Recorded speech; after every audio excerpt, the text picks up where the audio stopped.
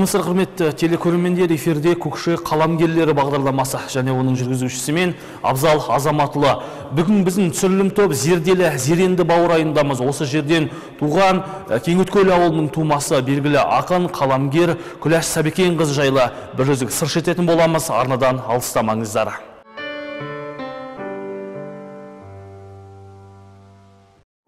Күләш апайдың әдебиет деп аталатын азабы мен тауқыметі көп ауылға келуіне жаратылыстың өзі сеп болғандай. Яғни бұл тектілік әкенің қаны мен ананың ақ сүтімен дарыған қасиет. Ақын қыз 1949 жылы 9 мамырда зеренді ауданына қарасты кеңөткөл ауылында дүниеге келген. Анасының табиғи әсем дауысы әкесінің суырып салма ақындығы оны жастайынан өнерге жақын етеді. 1949 жылы 9 мамыр күні кеңөткөл ауылы осы зеренді ауданының кеңөткөл ауылында дүниеге келдім. Жаңағы сұрағыңыз бірден көкейіме қона кетті себебі менің атам күйші. Атам мағжан асқан күйші болған адам. Нағыз сол кездері елдің барлығы намазын жасырып оқып жатқан кез тілдерді жасырын кітабын түнделетіп оқып жатқан кезі болатын соғыстан кейінгі жылдар. Сол кісінің күйі содан кейін әкем менің мына кітаптарды етігінің қойышына тығып жүріп оқитын адам. Малшы болды. Сол әрбір жұлдызды әрбір манағы ғабит мүсіреповтің кітаптары манағы мәдидің қарқаралы әні ыңылдап айтып келе жатады. Міне осындай сол кісілер бір өздерінше манағы кереметтей соның жолын қуып кетпегенмен сол бір тамаша сол өнерді бойларына сіңірген адамдар еді.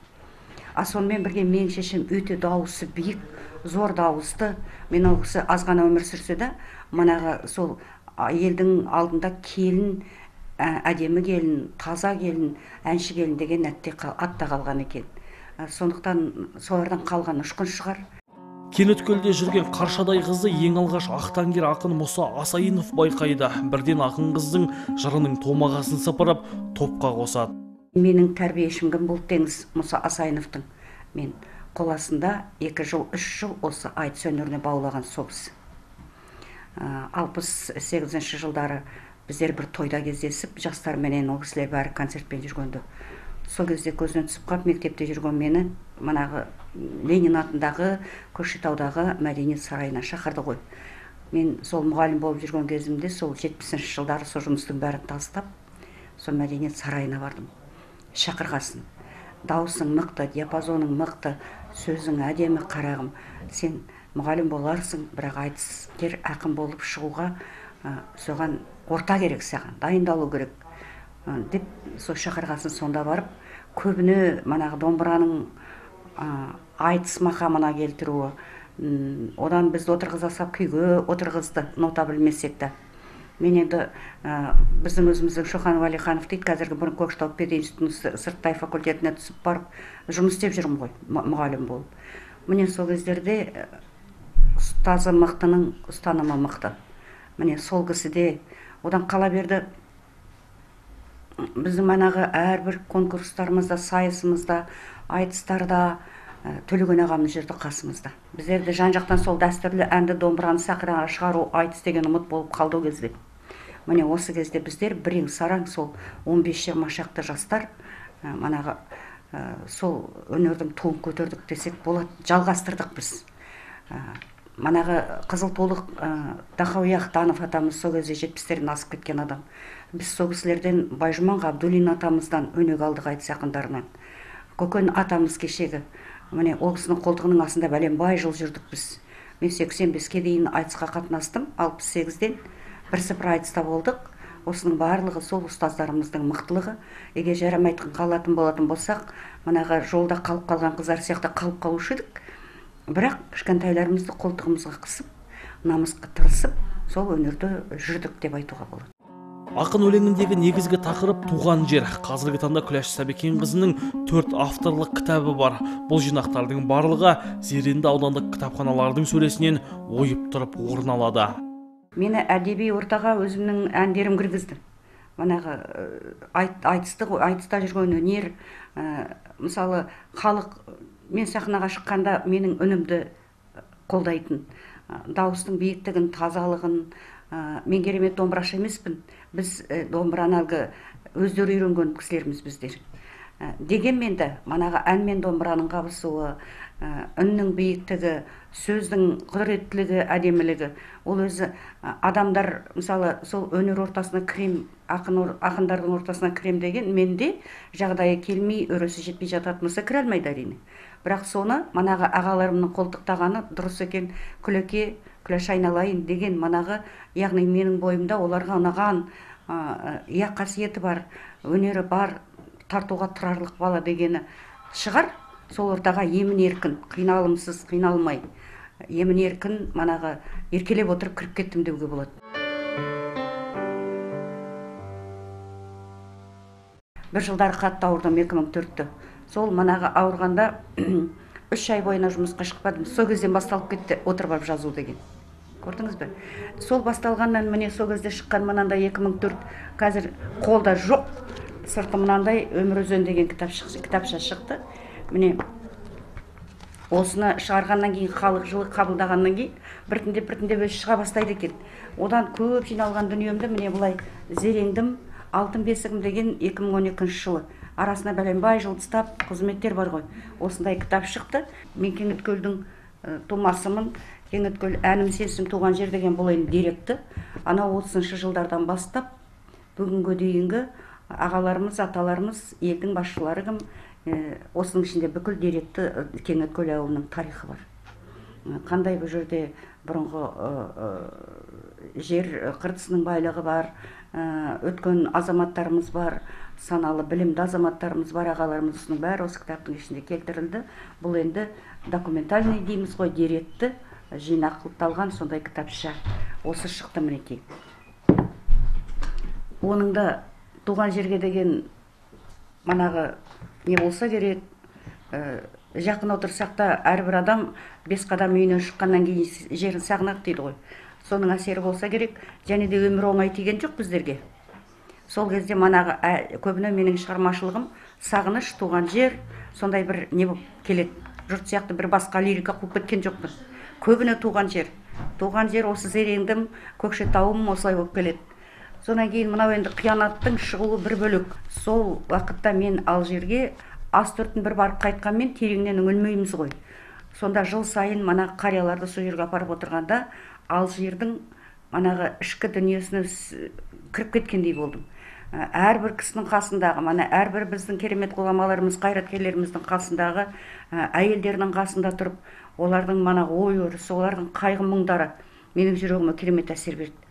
Содан осы қиянат деп ат қойылу кітаптың манағы алжир қасіреті деген немен басталады осы кітап. Сол, сол кезде дәл сол кезге біздің қазақ хандығының 550 жылдығы сосын зереннің 80 жылдығы тура келді. Міне осы басты үш тақырып осы кітаптың ішінде. Сондықтан мынау кітап осы қиындықпен келді деуге болады. Өйткені ондай дүниені жазу үшін тереңдеп тексеру керек зерттеу керек. Бұған біраз тер төгілді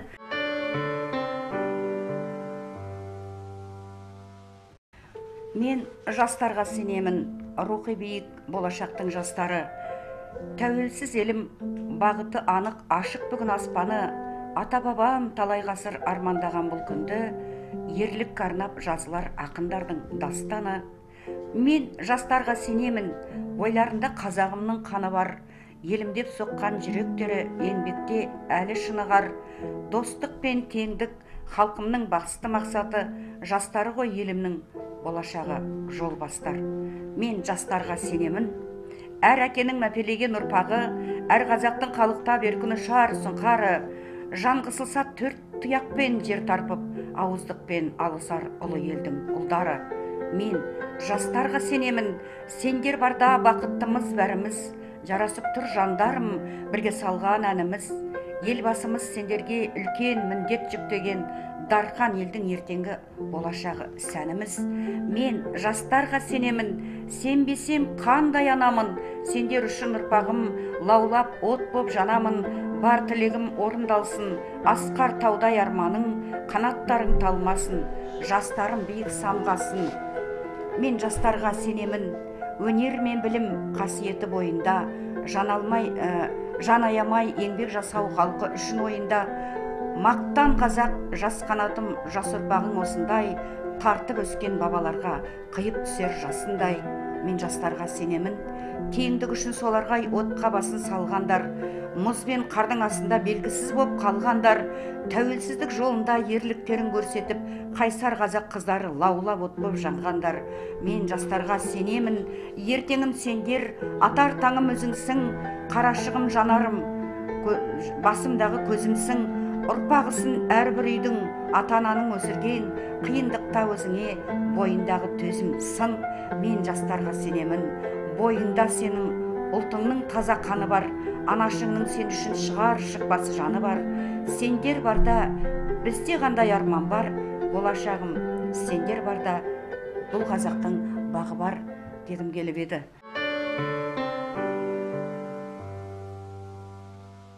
Мен мың тоғыз жүз сексен жетінші жылы біржан атындағы музыка училищесін бітіріп жолдамамен осы зеренді ауданына келгеннен бастап ол кісіні танимын. Мына келген жылы сол көкен шәкиев ағамыз бар атамыз бар жаңағы осман төлеғұлы бар амангелді ағамыз бар осы рахымжан рахымжанова күләш апамыз бар.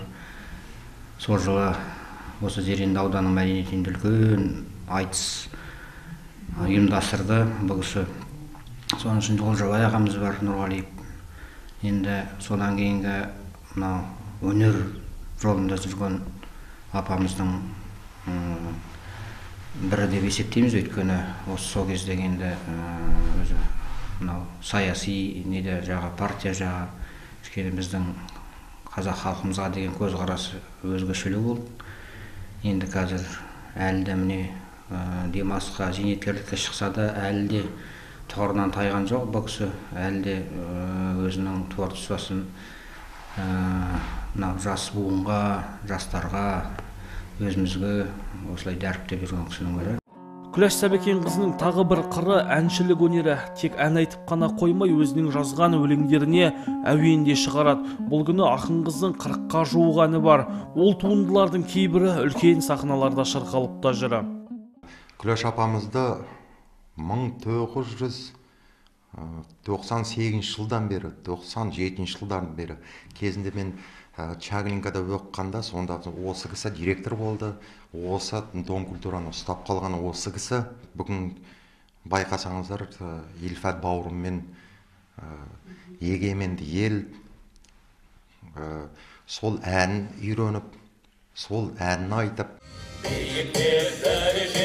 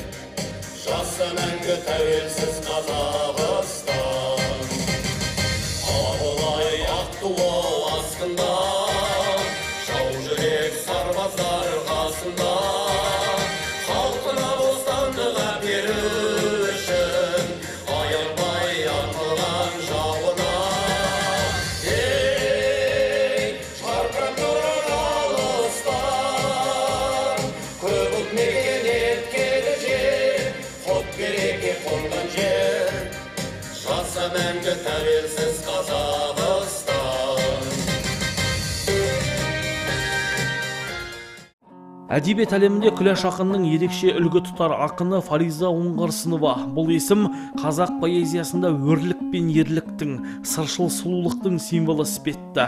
Күләш сәбекенқызы қазақтың осындай қабырғалы ақынының батасын алған. Шынын айтқан уақытта фариза апайымыздың көп қыздарға манағы берген үлгісі өте көп. Сол кісілерді алыста жүрсек те ол кісі осында екі рет келді екі рет келгенде алдында болдым. Міне ол кісінің сол мен шығарған өлеңімді алып кетіп әлгіні оқып осы сахнада бетімнен сүйіп өзің ауылдың ішінде жатыр не жатса да тамаша екен айналайын хабарласып тұрайықшы деп сол жастауымыз ғой кішкене сол. Жүгіріп жүрген уақытта телефон да алынбады соныменен енді маңғыстау мен арқаның арасы бірсыпыра жер ғой. Бірақ дегенмен көңіліме жарасып қалған сияқты болды. Жетпістің жетегіне шыққан ақынның әлі де жазар жыры мен айтар пайымы мол. Ол бүгінгі таңда төрт бала тәрбиелеп өсірген ардақты ана аяулы әже сегіз қырлы бір сырлы өнер иесі қазіргі уақытта зеренді аудандық мәдениет бөлімінде ақ әжелер этнографиялық фольклорлық тобында жетекшілік етіп келеді